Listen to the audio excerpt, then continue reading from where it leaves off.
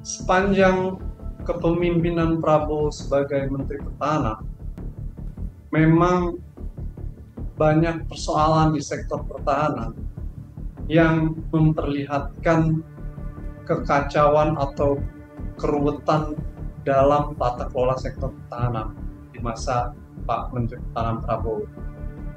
Hal itu pertama karena desain awal perencanaan pertahanan yang dibangun eh, tidak dilakukan secara utuh, transparan dan akuntabel. Hal itu dilihat dari Pak Prabowo tidak membuat apa yang disebut dengan putih pertahanan atau defense white paper.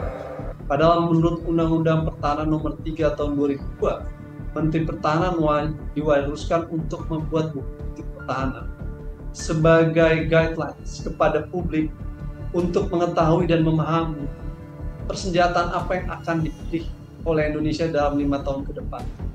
Lalu kemudian ancaman apa yang akan dihadapi oleh Indonesia dan bagaimana mengantisipasi ancaman itu. Nah, masyarakat harus mengetahui tentang sektor pertahanan karena pertahanan adalah bagian dari public goods sehingga sektor pertahanan harus transparan dan akuntabel kepada publik. Ukuran transparansi itu terlihat jika seorang menteri pertahanan membuat buku putih pertahanan. Terakhir dibuat oleh Trianiza Triakudu sebelum. Tapi di masa Pak Prabowo, Pak Prabowo tidak buat buku putih pertahanan.